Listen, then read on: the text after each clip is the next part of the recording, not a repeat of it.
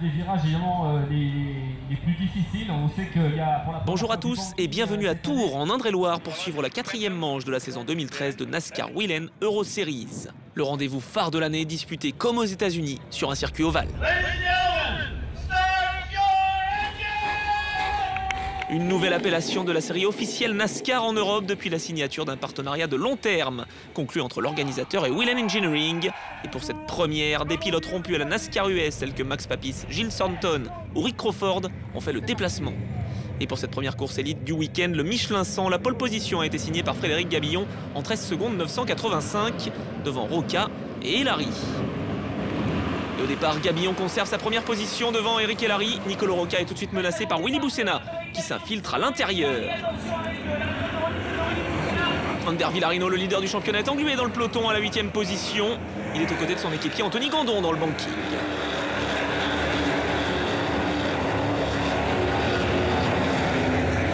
Et après quelques boucles, le duo de tête commence à s'échapper alors que Vincent Gonneau prend l'avantage sur Nicolo Roca pour le gain de la quatrième position. Villarino tente l'intérieur sur Nordström au premier virage, mais ça ne passe pas. Et déjà, les premiers retardataires sont rattrapés. Yann Zimmer, voiture numéro 64, profite de la présence de Nicolas Godin pour s'emparer de la troisième place face à Willy Boussena. Gabillon, Elary, Zimmer, Boussena, Villarino, c'est le top 5 après 25 boucles. Et tête à queue pour Guillaume Rousseau sur sa Ford Mustang. Le Français va légèrement se blesser au poignet dans l'aventure.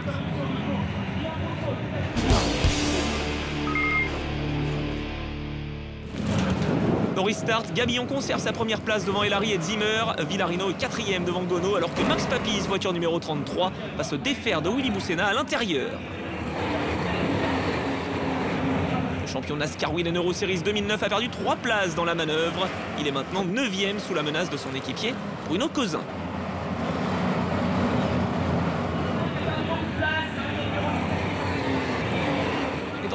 Belle remontée de la féminine Carole Perrin sur la voiture numéro 42. Partie 19e, elle est actuellement 11e derrière Anthony Garbarino.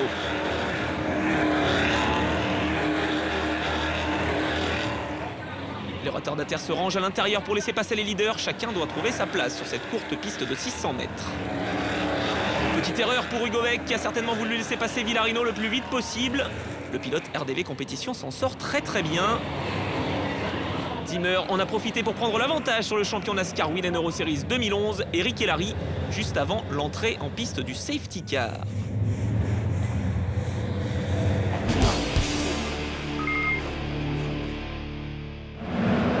Gabillon prend le meilleur restart, suivi de près par Zimmer et Elary, alors que derrière, Villarino, parti sur la ligne extérieure, par une position au profit de Vincent Gonneau. Il est cinquième.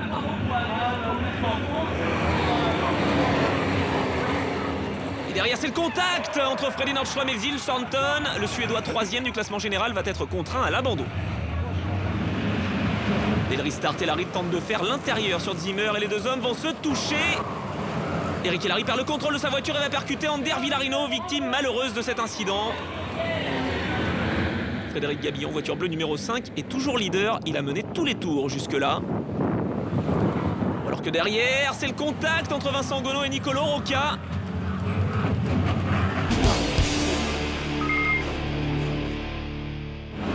Assurer une arrivée sous drapeau vert. Les officiels de la NASCAR Win Euro Series ajoutent deux tours à cette course. Gabillon prend le meilleur restart alors que Zimmer est dépassé par Max Papis à l'intérieur.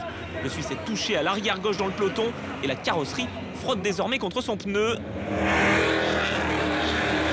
Zimmer est alors sous la menace de David Amanuzzi, débutant en NASCAR européenne ce week-end.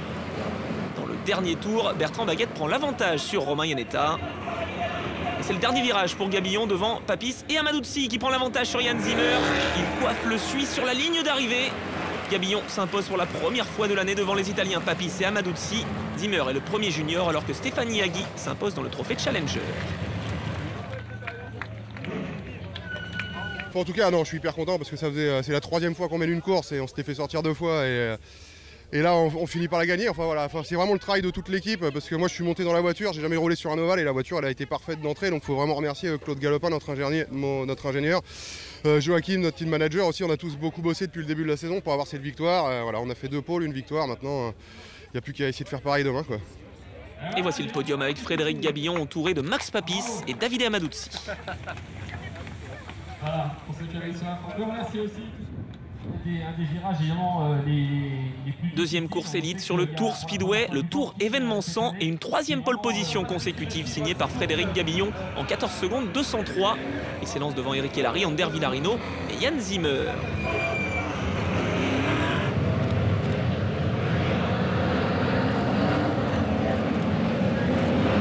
Gabillon prend le meilleur départ, mais attention au champion en titre Ander Villarino à l'intérieur qui s'empare tout de suite de la deuxième position. L'Espagnol va tout tenter pour oublier son résultat de la veille, alors que derrière le peloton est très groupé sur le banking.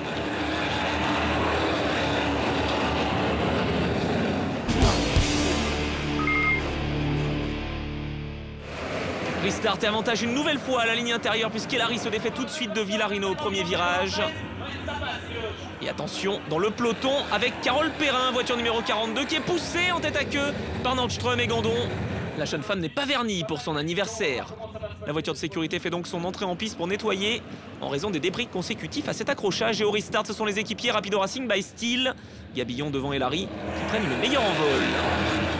Villarino est troisième alors que Max Papis, voiture bleue numéro 33, fait l'intérieur sur Yann Zimmer.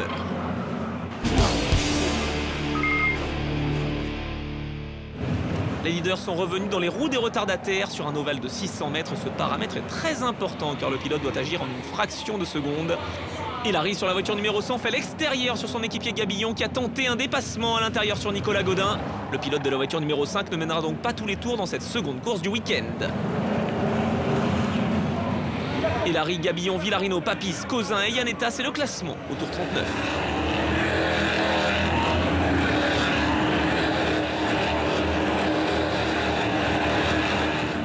La bagarre continue dans le peloton avec euh, Zimmer qui va partir en tête à queue, poussé par la voiture numéro 17 de Willy Boussena.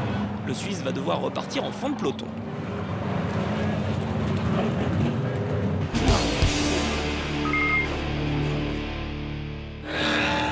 Nous sommes à la mi-course. Eric Hellary et Frédéric Gabillon mènent toujours devant Villarino, Yanetta et Papis.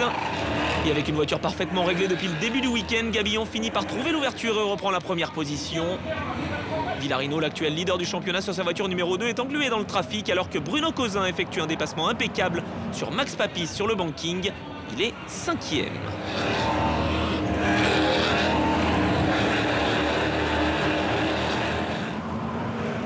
Et derrière, c'est le contact entre Freddy Nordström et Nathalie Maillet.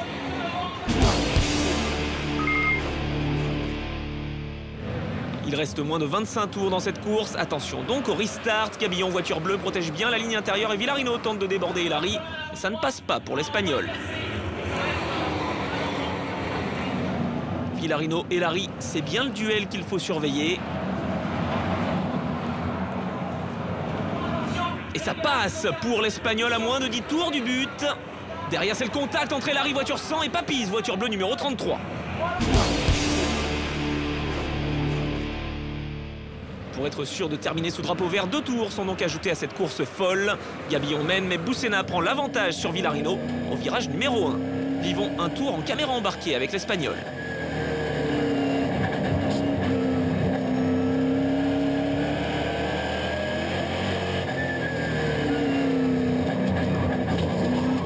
Yanetta tente l'intérieur sur le champion en titre dans le dernier tour. Les deux hommes sont côte à côte et ils se touchent. Villarino est décidément peu en réussite ce week-end. Il va terminer huitième devant Yanetta. Deuxième victoire de l'année pour Frédéric Gabillon qui l'emporte devant Willy Boussena, le premier junior, et le Suisse Yann Zimmer, remonté du Diable Vauvert après son contact plus tôt dans la course. Il peut célébrer son 23e anniversaire sur la troisième marche du podium. Vincent Gonneau, lui, est sixième. C'est le premier challenger. Vraiment une super course et difficile parce que euh, on a fait des longs runs là par rapport à hier, on a fait des séries de 30-35 tours, donc physiquement difficile, les retardataires c'était un peu plus compliqué qu'hier. Mais euh, voilà, non, je suis hyper content, on a vraiment fait un boulot de malade tout, tout- tout le week-end. Claude il nous a fait une caisse géniale. Donc euh, merci à tout mon team, euh, Fabien, mon mécano, Eric, euh, le team manager de Steel Racing et Joachim Gavaron de Rapido Racing. Voilà, c'est euh, un grand week-end pour nous puisque Joachim va partir aussi en pôle euh, tout à l'heure cet après-midi. Donc euh, on est vraiment content, on a bien bossé, euh, on est récompensé pour tous les efforts qu'on a fait. Et après ces deux courses très animées, Gabillon s'empare de la deuxième place du classement général. Il possède 5 points d'avance sur Yann Zimmer, le premier junior, et compte maintenant 28 points de retard sur Ander Villarino, qui a connu un week-end difficile. Bruno Cousin, 9 du général, mène désormais le trophée Challenger.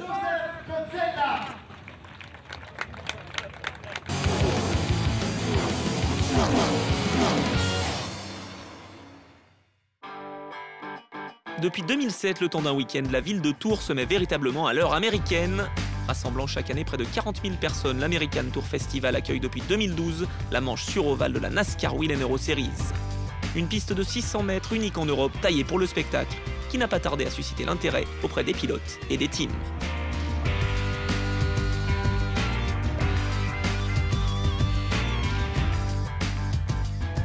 Globalement, oui, j'ai commencé à prendre de plus en plus de plaisir et c'est vrai qu'avec une voiture qui fonctionne et euh, on commence à prendre de plus en plus de repères et finalement on, s'amuse bien. Je pense que c'est des courses très intelligentes. il faut être intelligent, patient et 100 tours c'est très long. Tout le monde est au début un peu anxieux de, faire cet ovale et tout le monde prend du plaisir. Euh, c'est une super organisation et, et lui ovale, c'est vrai que ça plaît.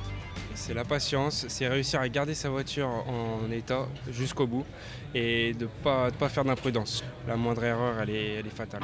Et pour cet événement exceptionnel, des pilotes de NASCAR US, à l'image de l'italien Max Papis ou du jeune américain Jill Staunton, ont souhaité relever le défi.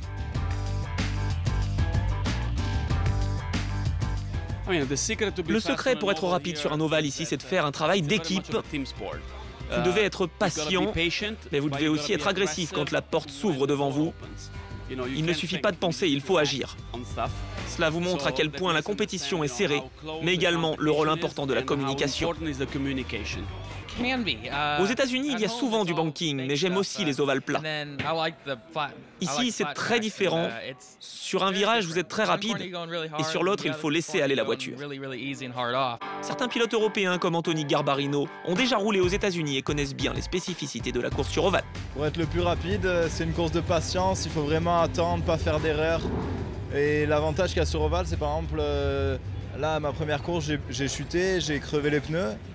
Euh, j'avais deux tours de retard, j'ai eu deux free je suis revenu dans le même tour et j'ai fini troisième junior. Donc euh, sur un circuit normal par exemple, on n'aurait jamais pu. On a deux tours de retard, c'est deux tours de retard. Alors que là, jusqu'au dernier tour, il n'y a vraiment rien rien qui est joué. La particularité de Tour Speedway est d'être doté depuis cette année d'un virage relevé à 9 degrés et d'un virage plat. Je pense que le fait d'avoir un virage plat et un virage relevé a rendu l'ovale moins intimidant.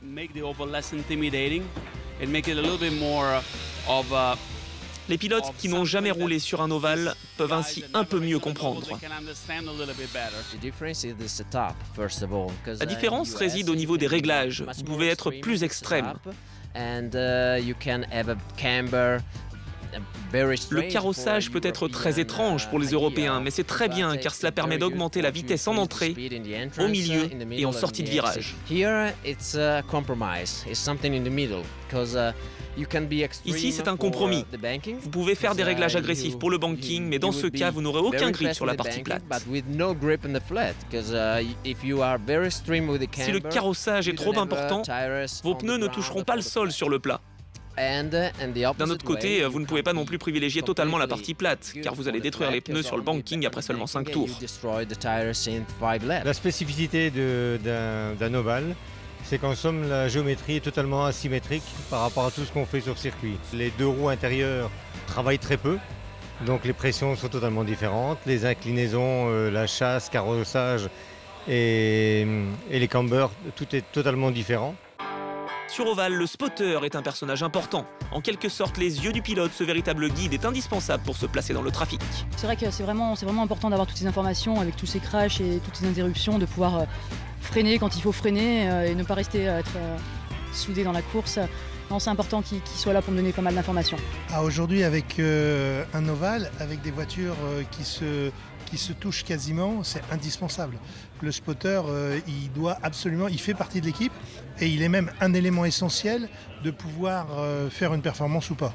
Grâce à une expérience de plus de 330 départs en NASCAR Truck Series, Rick Crawford peut témoigner de l'engouement suscité par cette discipline US auprès des fans européens. L'atmosphère est parfaite, je voudrais que vous preniin la caméra pour faire un tour complet autour de vous, afin de découvrir de nombreux supporters dans les paddocks qui peuvent voir les équipes travailler. Cela rend les choses accessibles pour les fans. La NASCAR Wheel Euro Series va devenir très populaire aux États-Unis, surtout quand des pilotes américains vont faire le déplacement ici pour rouler. Un véritable succès populaire pour cette épreuve de Tour Speedway qui a rassemblé plusieurs milliers de spectateurs. Les fans attendent d'ores et déjà l'édition 2014.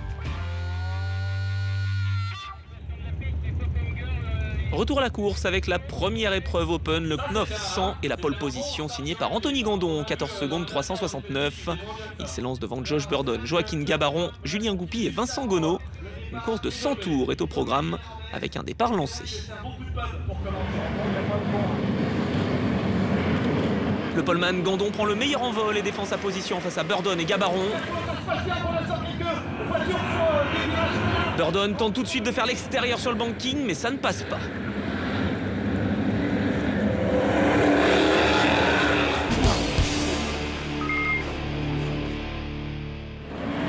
Restart avec Gandon, toujours leader devant Burdon, Gabaron et Goupy.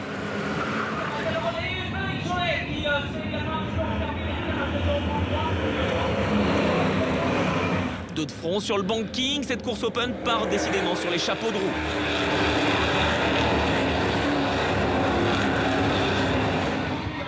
Gandon mène devant Burdon, Gabaron et Rousseau, voiture numéro 13 qui a pris l'avantage sur Goupy. Le Français perd une nouvelle position face au Belge Philippe Stevny, voiture numéro 88. Et à l'extérieur, Rousseau se fait déborder par quatre concurrents, il est désormais 8 Oh, attention, contact entre Julien Goupy, Enzo Pastor et Guillaume Rousseau, premier virage. Goupy s'en sort très bien, il ne touche pas le mur de béton et peut repartir. Au restart, Anthony Gandon est à l'intérieur alors que Joaquin Gabaron, voiture bleue numéro 5, laisse passer l'Australien Josh Burdon et le Français Vincent Gonneau. Gandon est sous la menace directe de Josh Burdon, son adversaire au championnat. Que Gabaron, lui, est à l'extérieur. Le rythme est décidément effréné dans cette course et Enzo Pastor va pousser Stéphane Sabatès en tête à queue au premier virage.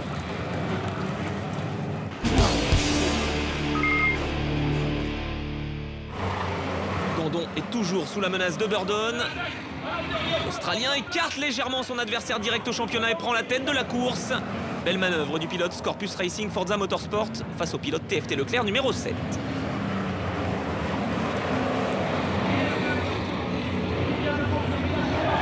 Bon et derrière, nouveau contact cette fois-ci entre Franck Violas et Jérôme Laurin.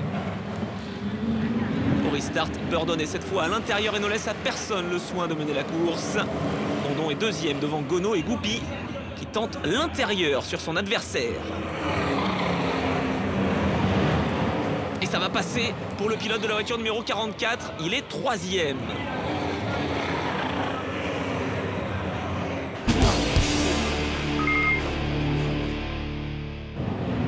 Julien Goupy est désormais en deuxième position. Le Français est bien remonté après son tête à queue du début de course. Mais il est poussé par Anthony Gandon, tête à queue. Plus de peur que de mal pour le pilote Rapido Racing by Steel. Restart, léger contact entre Gono et Burdon et Julien Goupy en profite pour s'infiltrer. Guillaume Rousseau, lui, prend l'avantage sur Vincent Gono. Les retardataires s'écartent de part et d'autre de la piste pour laisser passer les leaders.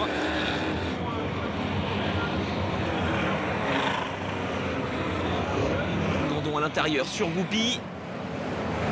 Mais il va partir en légère glissade au premier virage et laisse filer la deuxième place au profit de Goupy et Rousseau.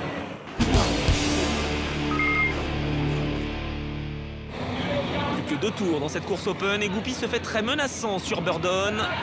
Bon, il fait l'intérieur sur l'Australien et file vers une victoire inattendue. Exceptionnelle manœuvre de Julien Goupy. Et c'est le premier succès en carrière pour le Français qui aura su trouver l'ouverture dans les toutes dernières boucles de la course. Anthony Gandon complète le podium. Et grâce à sa cinquième place, Gabaron s'impose dans le trophée Gentleman alors que Philippe Baudinière signe son premier top 10 de l'année et remporte le trophée Legend. La joie est immense pour Julien Goupy qui célèbre sa victoire comme il se doit. Jusqu'à la fin, il fallait se battre. euh, c'est ce que j'ai fait. On était très loin, on a pointé très loin à un moment, mais bon, j'ai profité des restarts. J'ai toujours été agressif dans la course. Et euh, ça a permis de grappiller des places au fur et à mesure. Sans commettre d'erreur. Et puis on a assuré cette première place. Je suis très fier de la dédier euh, au public de Tours parce que je, suis du centre, j'ha- j'habite à Orléans, donc c'est mes voisins et puis euh, content d'être ici.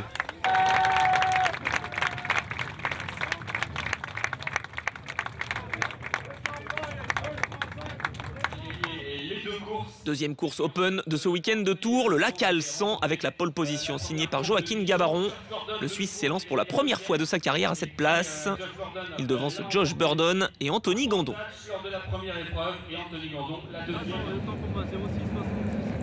Vas-y, vas-y, Au départ, Gabaron fait un léger écart sur Burdon qui se fait percuter par Volpato. Fort heureusement, les deux hommes pourront continuer.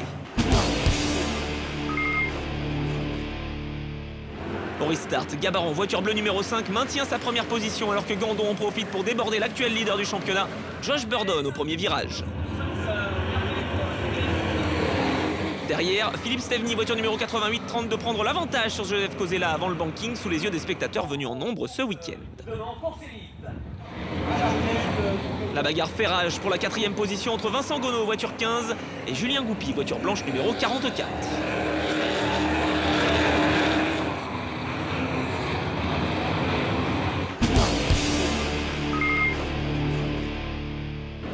Restart au 26e tour à la suite du tête à queue et de l'abandon de Christophe de Fierland. Gabaron est toujours en tête, mais l'Italien Renzo Calcinati va prendre l'avantage sur Anthony Gandon, tout comme Vincent Gonneau qui s'infiltre à l'intérieur dans le banking.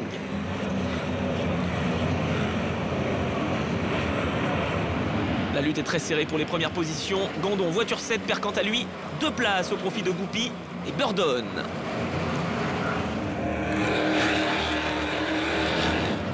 Vainqueur la veille, est déchaîné sur cette piste. Il s'empare de la deuxième position derrière son équipier Gabaron.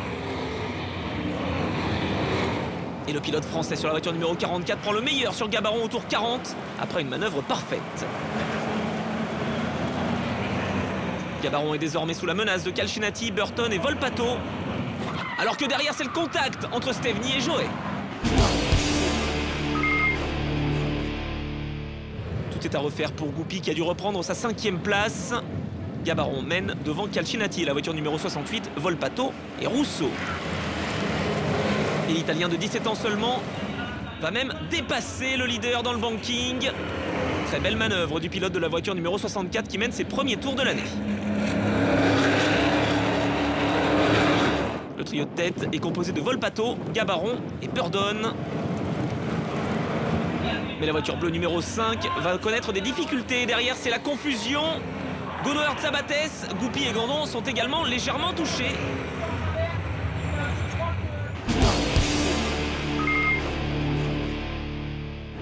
Restart à 25 tours du but avec Volpato qui mène devant Burdon. Gabaron est troisième et protège bien la ligne intérieure. Burdon est décidément très menaçant sur Volpato. L'Australien fait un bump and run de qualité, écarte son adversaire Volpato pour s'emparer du commandement. Burdon mène alors ses premiers tours de la course. Oui, attention, contact entre Goupy et Gabaron. Les deux équipiers Rapido Racing by Steel s'accrochent et le poleman repart du fond de peloton. Restart à trois tours de l'arrivée. Burdon résiste aux deux Italiens Calcinati et Volpato. Alors que la voiture numéro 64 s'empare même de la deuxième position. Dernier virage pour Burdon. C'est la victoire pour le pilote Scorpus Racing Forza Motorsport. Il s'impose devant Gabriele Volpato et Renzo Calcinati.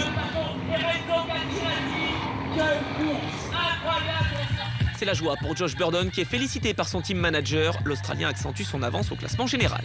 Je voulais vraiment m'imposer aujourd'hui. Hier, nous avons mené jusqu'au dernier tour et je n'ai pas pu gagner. Mais j'ai appris et j'ai pu faire une performance solide aujourd'hui. Je pensais au championnat, mais au départ, je partais deuxième et j'ai perdu quelques places. La course s'est déroulée comme prévu, les safety cars m'ont aidé. J'ai été plutôt chanceux. C'était une très bonne course ici et je suis heureux de m'imposer face à mes rivaux. L'atmosphère est très agréable, c'est un bel événement. Au championnat, Burdon possède 26 points d'avance sur Gandon et 36 sur Goupy. Gabaron mène le trophée de gentleman alors que Laurent est toujours en tête du trophée Legend. Prochaine étape pour la NASCAR Whelen Euro Series à Monza, les 28 et 29 septembre prochains. Charlottesville.